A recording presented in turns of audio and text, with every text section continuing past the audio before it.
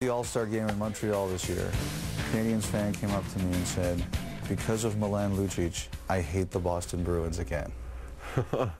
well, uh, I guess uh, it's kind of I you kind of take it as a compliment that you uh, you know that you make an impact like that. Look at Lucic and Laraque again having another chat at the face-off circle here. He had to swallow his pride that night, and I say swallow big time. And uh, I think, uh, you know, I earned a lot of respect from that night because uh, not only did he have to swallow his pride, it was happening in Montreal, and uh, you know, but the bottom line is he he listened. Uh, he scored a big goal to get us back in the game, and eventually we won the game. And uh, you know, still to this day, I, am sure he would have loved to, to have at least answered the call. It was really tough, you know, just because of you know, just because of your pride. You know, you want to st stand up for yourself. You don't like being embarrassed like that.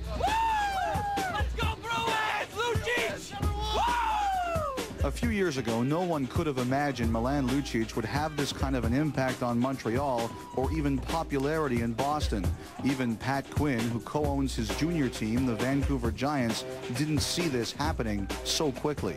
Here's a young man you watch him as the little, as not a little, he's not little at all, but as the ugly duckling, you know, slow and, and uh, and uh, ponderous to start with, and then you see him moving along and moving along, and then as I said, I, uh, you, are away for a little bit. You come back and you see, holy, look at how how he's come along, you know, and he's understanding his position. His skating's better, and uh, he still had that strength about him as far as physical play. He loved to do that. Skating was a big issue. That was always uh, that was always a big thing. Everyone was always saying, and you know, I think I, you know, when Pat Quinn was saying, you know, he didn't really think I was going to make it to the NHL. I think that was a big reason why, and I think that's another reason why I really wasn't on any, anybody's radar. Even not only in the NHL, even the WHL, I wasn't on anyone's radar because, uh, you know, my skating was an issue. I had just been hired by the Bruins, uh, you know, late June, and uh, in July we had our, our, young players come in for those summer development camps, and uh, you know, I, I, noticed a big guy out there who maybe his skating wasn't necessarily, I'm going to use the word elegant, and uh, but from the blue line in, he was going in on goaltenders. He had the quick wrist shot, going goals. Uh, he, he, had good size. He seemed strong on the puck, and even in those battle drills, seemed to be pretty dominant. And uh, I was kind of curious to see how he would do in in the major camp, you know, with the with the big boys. He just kept getting better and better, and uh, I guess the rest is history. The Bruins got a steal with the 50th overall pick in 2006 as some teams still questioned whether or not his skating would be good enough. Any doubt was erased on the opening shift of the 2007 Memorial Cup Final. That opening shift of the Memorial Cup game here in Vancouver uh, was probably the most impressive shift, uh, starting shift I ever saw in all my days. He come out, the puck dropped, he uh, got dumped into the opposition zone. He pounded a guy there, went across the other side of the ice. He threw a big check there, pounded a guy.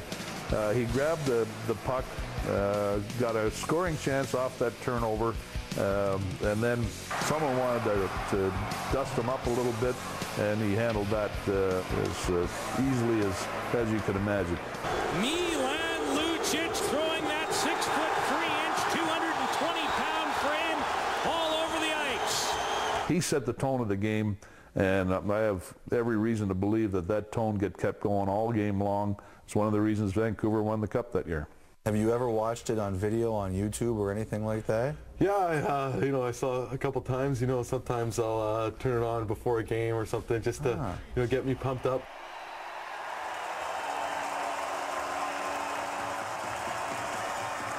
I have heard that your only weakness is Guitar Hero. That you think you're good, but you're not. Who, who said I wasn't good? I can't tell you. Anonymous source. Oh, I'm pretty good. I mean, I can play.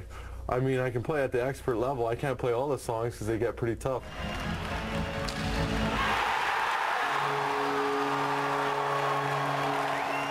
If someone had told you that you would have made the Bruins as a rookie and had such a huge impact on them in two seasons, you would have said what? Uh, I wouldn't have. Uh, I wouldn't really have believed him. I didn't think, uh, you know, coming in I would make that much of an impact. So, uh, yeah, it's uh, you know, it's great that I'm able to contribute the way I can, and uh, it's just me going out there playing my game and and yeah, I guess uh, I would have proven myself wrong more than anything.